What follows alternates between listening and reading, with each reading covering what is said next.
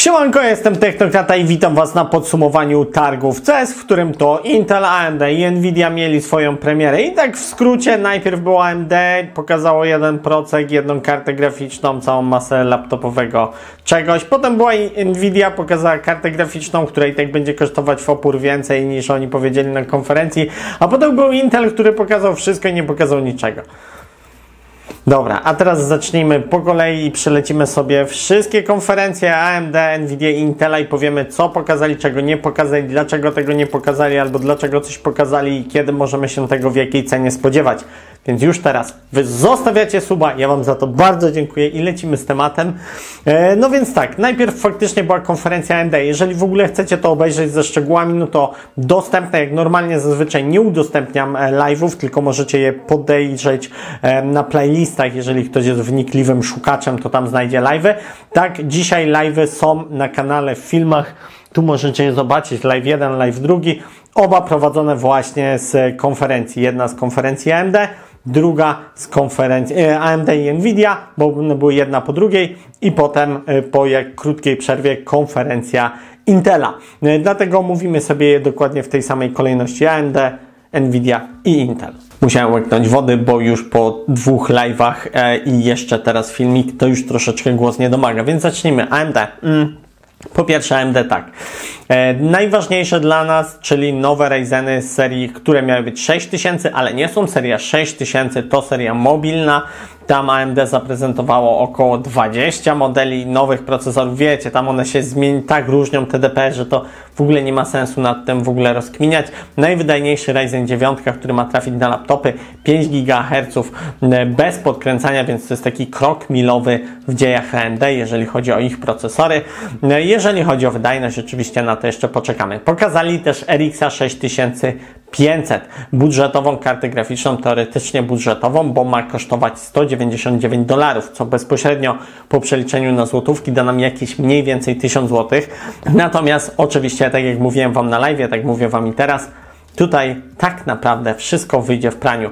Zobaczymy, jak te ceny będą się kształtować, jeżeli chodzi o tą kartę graficzną po premierze, która ma już nastąpić 19 stycznia. Ja będę na, tę, na tą premierę polował na tą kartę. Będę starał się tą kartę kupić, podobnie jak RX 3050, RTX, przepraszam, ale o nim za chwilkę. E, teraz cały czas jeszcze konferencja AMD. No i lista słów pokazała nam, jak wygląda procesor Zen 4 fizycznie. Ja już Wam to na kanale pokazywałem ładnych kilka miesięcy temu, jak będzie wyglądał IHS Zena 4. E, no cóż, teraz e, AMD bardziej przypomina Intela, e, bo nie dość, że jest kwadratowe, zostało kwadratowe, tak jak zawsze było. Kształt IHS-a przypomina dawne procesory z rodziny HDT Intela. No to na dodatek gniazdo będzie w formie LGA, czyli będą piny w gnieździe, a nie na procesorze tak jak teraz. AMD przechodzi w końcu właśnie na piny w gnieździe karty graficznej i rezygnuje z pinów na procesorze. Fajna sprawa, ale o tym więcej będziemy mówić pod koniec tego roku, kiedy będzie miała miejsce premiera Zena 4. No i ten Ryzen 5800X 3D, bo tak nazywa się Ryzen e, zaprezentowany przez e, Ryzen 7 5800X3D zaprezentowany przez AMD, który ma być najwydajniejszym procesorem do gier. Wydajniejszym nawet niż i9 12900K. Mm. Natomiast tak, nie poznaliśmy jego ceny. Data premiery to na wiosnę, więc domyślcie się kiedy na wiosnę. E, no i patrząc, że kalendarzowa wiosna kończy się końcem marca, no to najwcześniej zobaczymy go kwiecień, maj a już w październiku, listopadzie zobaczymy Zena 4, więc jest to tak naprawdę procesor wypuszczany tylko i wyłącznie po to, żeby na chwilę powalczyć z Intelem, jeżeli chodzi o wydajność. Potem znowu się zacznie batalia Zen 4 kontra generacja 13. To jest identyczna sytuacja, jak Intel wypuścił 11 generację, żeby powalczyła trochę z Zenem trzecim przed premierą 12 generacji. Przy czym Intel wypuścił tych modeli kilka, a AMD na razie pokazało model 1 to jest dokładnie jeden procesor. Ile będzie kosztował? Nie wiemy. Kiedy się dokładnie pojawi? Też nie wiemy. No ale e, jest jakiś przedsmak. Ja powiem szczerze, pomimo tego, że było to takie miałkie, czekam na jego premierę, bo jestem ciekawy, na ile będzie wydajny i czy otworzy taką perspektywę już e, ówczesnym posiadaczom, teraźniejszym posiadaczom platformy AMD, na upgrade, na coś naprawdę wydajnego, jeżeli chodzi o gry. Potem była konferencja mm, NVIDIA, która moim zdaniem była jeszcze gorsza niż konferencja AMD. E, Nvidia pokazała 3050, RTX 3050. Oczywiście na tych konferencjach była cała masa gadania o różnych innych z mojej perspektywy, no znaczy z mojej, bo każdy ma swoją perspektywę, mniej lub bardziej istotnych pierdach, które no mnie tak szczerze no, bardzo nie interesują, nie? E, chwalenie się, ile to osiągnęli, jakieś tam pokazywanie nowych software'ów. To wszystko jest fajne, jak już wychodzi. Na konferencjach jaram się tylko tym nowym sprzętem, który pokazują dlatego też o nim głównie teraz mówię. no więc tak, Intel, nie Intel, najpierw Nvidia pokazała RTX 3050, który ma kosztować po przeliczeniu na złotówki jakieś 1300 zł. Nie takiej karty się spodziewaliśmy. Ja od początku, jak mówiłem, w ogóle 3050 to była karta, na którą bardzo czekałem, bo w końcu karty z dopiskiem 50, czyli wiecie, te, te takie budżetowe, budżetowe, to, to zawsze były karty budżetowe. GTX 750, GTX 1050 Ti, 1650 to były karty budżetowe wyceniane na mniej niż 1000 zł. No i dobra, czekałem na tą 3050, bo miał dostać, miała dostać Ray Tracing, miał dostać DLSS, e, Nvidia Broadcast, bardzo fajne narzędzia ogólnie, w niskiej cenie. Fajne dla początkujących streamerów, fajne dla początkujących twórców wideo i tak dalej, e, a jednocześnie dające nam bezkompromisową wydajność w grach Full HD na długie lata dzięki DLSS ale poniżej 1000 zł. Oczekiwałem mniej niż 1000 zł, no max 1100. 1300 to jest za dużo, zwłaszcza, że na 1500 z drobnymi była wyceniona 3060, e, więc dopłacenie 200, 300 do 3060, która będzie moim zdaniem bardziej wydajna, więcej VRAMu ma, jest bardziej przyszłościowa, no to żaden problem. Natomiast może, może chodzi o to, że Nvidia chciała wycenić tą kartę realnie, na zasadzie Mamy kiepski rynek, wycenimy ją tak, będzie tyle kosztować w sklepach, będzie super. I właśnie, sprowadza się to wszystko do kosztów w sklepach. Jeżeli ta karta po premierze kosztowałaby 1500 zł, 1300, 1800, generalnie jeżeli kosztowałaby po premierze, która ma nastąpić do, do końca stycznia, e, kosztowałaby poniżej 2000 zł, c'est magnifique. Puccio bello czy mocio bello, taka karta, super karta, fajna karta. Tylko pytanie, czy będzie tyle kosztować. Jeżeli będzie kosztować poniżej 2000, to fajnie. Znaczy, to nie jest fajnie, bo ta karta jest, jeżeli będzie kosztować 2000, to i tak będzie dwa razy za droga. Tak? Ale mimo wszystko dostaniemy w końcu jakąś współczesną kartę w cenie około 2000 zł. Bo na razie za 2000 zł nową kartę ze sklepu to sobie można kupić 1650 albo 1660. No szanujmy się. Trzyletnie karty graficzne z taką wydajnością za 2000 no wszyscy wiemy jak to wygląda, natomiast jeżeli by tyle kosztowała 3050, to fajnie. Obawiam się niestety, że będzie kosztować bardziej 2,5 tysiąca, a to już jest cena no taka, gdzie raczej bym tej karty nie kupił. No jakbym był bardzo zmuszony, no bo wiecie, do pracy, czy do streamowania, czy do czegoś takiego, to tak, to, to oczywiście, jak najbardziej. Ale do takiego kupienia, bo chcę mieć komputer do grania w Full HD i mam 4000 na wydanie i wydam 2,5 na.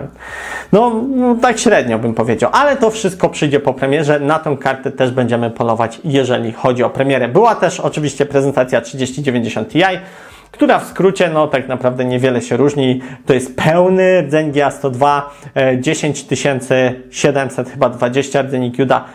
Tak w skrócie. 1, 2, 3% maksymalnie wydajniejsza od 3090. Cena e, około 13-14 tysięcy. Szczerze, karta, która w ogóle mnie nie interesuje. Oczywiście, jakbym mógł ją mieć, z chęcią bym ją przytulił, ale to jest karta, która jest trzy razy więcej warta niż mój samochód, więc no generalnie dla mnie odpada e, i myślę, że dla wielu osób też, bo jest naprawdę zaporowa, a za swoją mocą nie niesie tak naprawdę za swoją ceną nie niesie żadnego wzrostu mocy w stosunku do 3090, którą już mamy. Zresztą, przekonamy się o tym po premierze. Przekonamy się o tym, czy niesie wzrost mocy, czy go nie niesie, bo może faktycznie w jakichś e, specyficznych zastosowaniach profesjonalnych ten wzrost mocy będzie zauważalny. Ale oczywiście o tym przekonamy się po premierze. No fajna karta, kto by takiej nie chciał? Każdy z nas by taką chciał, ale generalnie niewiele powiewu świeżości wprowadza, prawda? No bo nie wprowadza. E, no i to by było na tyle, jeżeli chodzi o Nvidia. Teraz przechodzimy do Intela. I tutaj tak naprawdę najwięcej oczekiwałem. Najwięcej, jak widać zresztą, najwięcej oczekiwałem, więc najwięcej się zawiodłem, bo Intel powiedział, będą karty graficzne. Pokażemy Wam, będzie premiera w pierwszym kwartale tego roku. Tak, tak, i zdjęcie laptopa. Będzie premiera kart graficznych, zdjęcie laptopa, pierwszy kwartał tego roku. I tyle. Znaczy, no tyle, nie? Generalnie pokazali, że Death Stranding działa. No to już jest jakiś plus. Ale czy Full HD, czy w 1440p, czy w 4K? Nigdy nie wiadomo, w jakim FPS-ie, nie wiadomo, czy to było na żywo renderowane na tej konferencji, nie wiadomo. W sensie powiedzieli, ten sprzęt już jest, ten sprzęt będzie w pierwszym kwartale, więc fajnie, bo wiemy, że w przeciągu na pewno 3 miesięcy się pojawi, na 100% powinien trafić na półki, ale nie wiemy za ile, nie wiemy jakie modele, po prostu Intel ARC, Alchemist. E, pokazali bardzo fajny feature, mm, który zostanie w przyszłości wprowadzony, czyli hybrydowe renderowanie, gdzie procesor, e, zintegrowana karta graficzna i karta graficzna dedykowana, czyli e, Intel ARC razem współpracują przy renderowaniu i na przykład jak sama karta dedykowana ARC renderowała, a jak renderowały te wszystkie rzeczy naraz, no to tutaj to było na DaVinci pokazane, ale był konkretny boost do renderowania filmu. I to mi się podoba, bo nie było samych cyferek, był konkretny przykład, jak e, potrafi to renderować. To akurat na plus, jeżeli chodzi o taką kreację właśnie e, prezentację na, na, na, na prezentacji, na premierze, na konferencji, o tego słowa mi brakowało, e, bo właśnie takie rzeczy ja najbardziej lubię, które w praktyce pokazują jakieś działanie. Oczywiście to też są jakieś hermetyczne, laboratoryjne warunki, które symulują, a nie pokazują faktycznego działania danego sprzętu, natomiast mimo wszystko to mi się podobało. No a nie podobało mi się, że ani nie, nie zobaczyliśmy nawet desktopowej karty, bo AMD pomimo tego, iż wypuszcza pod koniec tego roku, czyli później niż Intel wypuści swoje karty graficzne, pokazało nam fizycznie, jak będzie wyglądał Zen 4. Pokazało. Ja nie wiem, czy tam był kawałek krzemu od Zena 4, bo mogło go tam nawet nie być.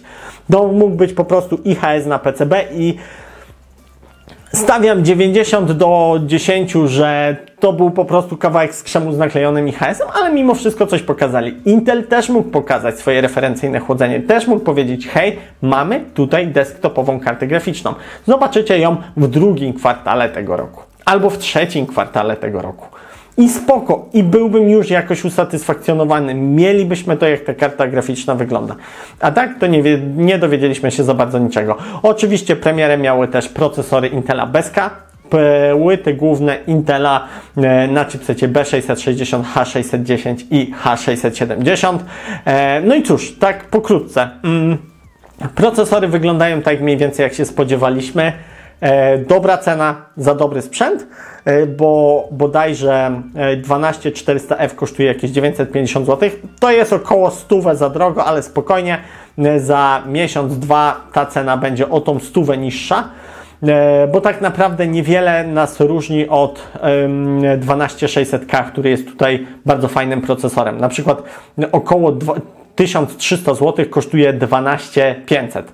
E, zablokowany mnożnik, czy tam 12600 gołe. Zablokowany mnożnik, zintegrowana karta graficzna, ale już dopłacając zaledwie 180 zł mamy 10 rdzeni w 12600K, e, KF konkretnie, więc no jest tutaj, jest tutaj taka dopłata do tej mm, e, 12600K uzasadniona, no ale jak ktoś chce zaoszczędzić, no to 500 zaoszczędzi kupując e, 12400F, który jest dobrym prockiem o wydajności e, 5600X, więc fajny procesor, fajna propozycja do budżetowych konstrukcji, ale pojawia się jeden problem. Ceny płyt głównych. Ceny płyt głównych na szybko, tak na streamie przeglądaliśmy w Xcomie. Najtańsza płyta główna na B660 670 zł czy 660. No porażka. No to nie jest płyta budżetowa. To nie jest płyta budżetowa i to się w ogóle nie kalkuluje. I to była naprawdę bieda płyta. Dwa sloty na RAM, e, dwa dyski M2. Nawet do sekcji zasilania tam się w coś takiego nie wczytywałem, bo wiadomo, jest to podzablokowany procesor, więc da sobie spokojnie radę nawet z zablokowaną i dziewiątką podejrzewam. Ale generalnie biedna płyta główna, a bardzo droga. E, czekam na ceny płyt głównych H610, bo takich nie widziałem, które będą fajne pod i trójki, które też zostały zaprezentowane i... Mm, kosztują kolejno 699 zł, 700 zł za jej trójkę z Integrą, no co niestety jest ceną wysoką, zbyt wysoką moim zdaniem, ale już bez zintegrowanej karty graficznej ta i piątka 12100F kosztuje 550 zł. I to jest bardzo fajna cena, tylko po raz kolejny płyty główne. Muszą pojawić się płyty główne, no nie wiem, za 300, max 400 zł pod tą i trójkę, i wtedy będzie to bardzo fajny procesor pod taką wydajną platformę do grania Full HD. E, dużo taniej, bo prawie 400 zł taniej niż 12400F. Też mniej wydajnie, nie? I dwa rdzenie mniej, e, cztery wątki mniej, ale mimo wszystko 400 w kieszeni przy takim zestawie za 2-2,5 tysiąca złotych to jest dużo. I gdyby ceny były normalne na rynku, to mielibyśmy Radeona za 1000 złotych, RXA 6500, do tego i trójeczkę 12100F, do tego jakąś tanią płytę główną, o ile one w ogóle będą, te H610 za 400-600 zł. I w okolicy 2,5 tysiąca mamy naprawdę fajny komputer do grania w Full HD. Niestety karty graficzne zabijają cały ten pomysł, a w ogóle do 3000, co tu możemy na RTX 3050 złożyć, no fajna sprawa. Zobaczymy, jak te ceny będą się kształtowały.